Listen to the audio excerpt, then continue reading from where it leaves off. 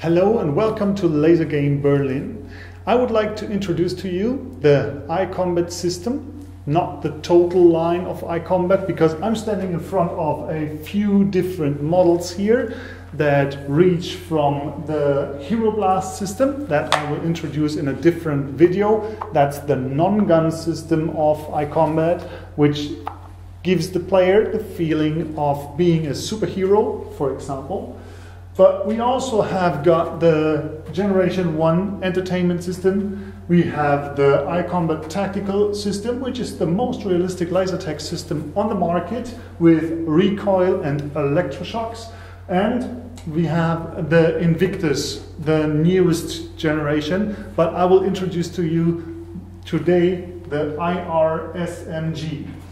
The IRSMG is part of the Entertain line, but is a little further, a little more orientated to the tactical line. So what we got here is a quite big phaser that is made of aluminum, so it has a weight to it. It's not the lightest on the market, but it is very durable, very robust, and you can rely on it, and it also gives a certain feeling of realism to the players.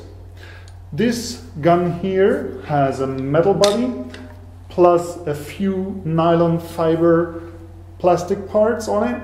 It has the ability to add a red dot to it. So if you want to have realistic aiming, just add a standard red dot to it and it will go along with it very well.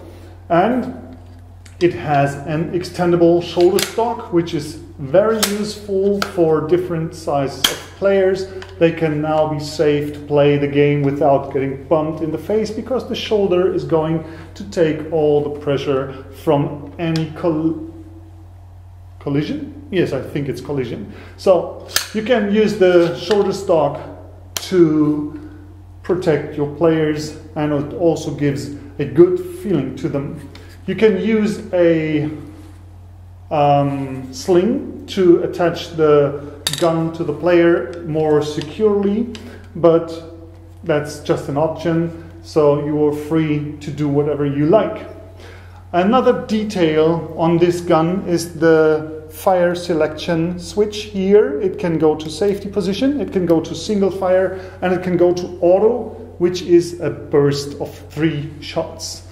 Then we have a realistic trigger that has two stages and we have the option to add a magazine in here. The magazines hold the battery and I will introduce the uh, battery mags to you in a second. Then we have a mag release button. So if you want to reload during the game, you will have to push that mag release. And also we have this lever here, which is also part of the reloading system. I will introduce the reloading system to you in a minute. So that's what's integrated in that gun. It has an integrated sensor and a vibration as well. This vibration has the ability to simulate a recoil. It is not as heavy or as much as the tactical line with the CO2 driven recoil, but also gives a really good feeling to the players that are normally not used to having recoil in a laser tag system.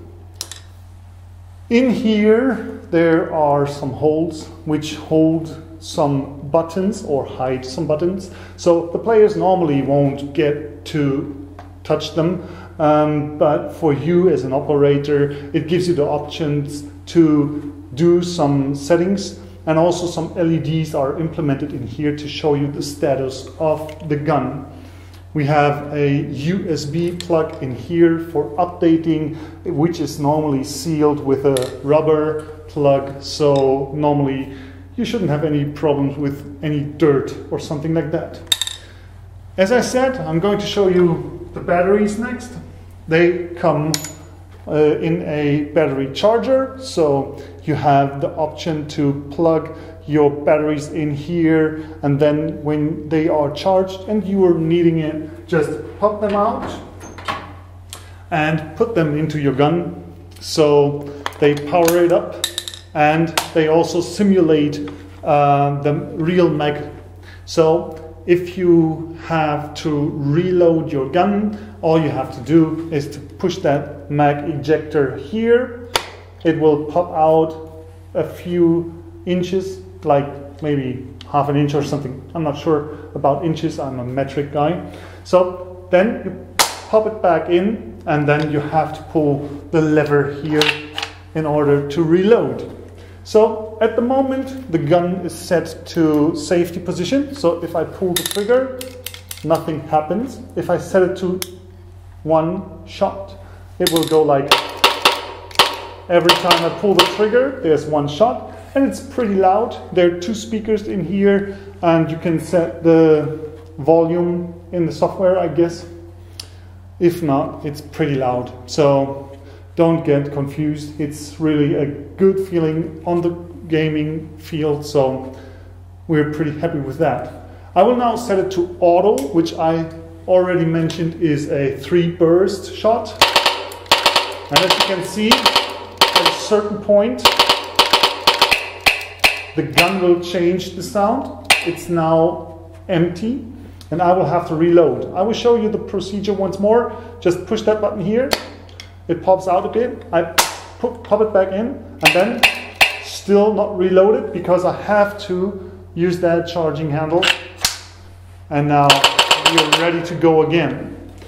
That is how the IR SMG is working. You can operate it without any computer. It goes gun to gun, which has uh, two game modes, uh, which is free for all, of course, and team against team. You have a sensor in here which covers three sides, left, right, and front.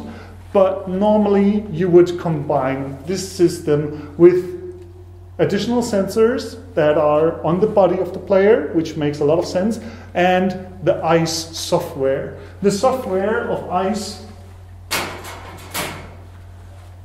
comes in uh, three versions, which is a free one, a professional one and a ranked version. We will explain all that on a different video, but the main option you would like to have is to put the players into teams and choose a lot of different games to play. So once you connect all that to the computer, the equipment will show up on a screen. You can assign it to the different players and run a game easily. But more importantly is that you can connect these guns to the gun sensors or the body sensors on the player. I will show you the headbands in two different colors, which is blue and black, but we also have like red and camo, for example. Camo is a camouflage pattern that is uh, grayish, so if you prefer that for your headbands, you can get that as well. And as you can see, we also have these vests which cover the upper body of the player with six sensors on the front and four sensors on the back, which is also all wireless. So you don't have any cables hanging around, tangling the players or something like that. So if you want to add more sensors, you have the free choice of having the gun only having the gun and the headband, having the gun and the vest, or all of it together. So it's a pretty good choice for you to come along with the solution you would like to play with. So, additionally to all the player setups, we also have things that make the games more interesting. If you have a laser tag system that only runs two game modes like free for all and team against team, then you will get stuck pretty soon with all the interesting games. So iCombat offers a lot of props that belong to the arena and will give you more options to play different games. As we can see here, we have this tube. This is a small tube with a button on it and it lights up green to indicate that it is in use at the moment. So this one does the respawning. So if I want the players not to respawn automatically, so shot that and wait for 10 seconds, after that they get a new life, I can set the software up to respawn points and they will then respawn the players with a push of a button. You can place these respawn points anywhere and you can use as many as you like. So you can set up all kind of different environments and game setups with these and uh, they are pretty handy because they're wireless as well. Just put them anywhere and they will run for the day. And we also have that addition here, which is the Dominator. Um, it is called like that because one of the main games you play with them is the game Domination. What it's all about? Domination is a game where you try to capture one of these points and defend them so it's in your team color as long as possible. If you shoot into that tube, it will get your team color. It will light up just as the uh, respawn pod in your team color, um, which can be red, blue, green, and purple. And then they will score points for you. And the longer you have them in your team color, the more points you will score. If you have like three or more of them, you can also play Capture the Flag and Whack-a-Mole, for example, but there are more games to come. So, putting all that together, the IR SMG is a pretty good system for teenagers and up. I would not recommend to play that with kids use the Hero Blast instead. But it runs very well with players 16 and up, and it's uh, in between with a standard laser tag system, which is not very realistic, and the iCombat tactical system, which is a very realistic system with uh, CO2 powered. Um, recoil, which is a lot stronger than the one in the IR SMG, and electroshock options as well.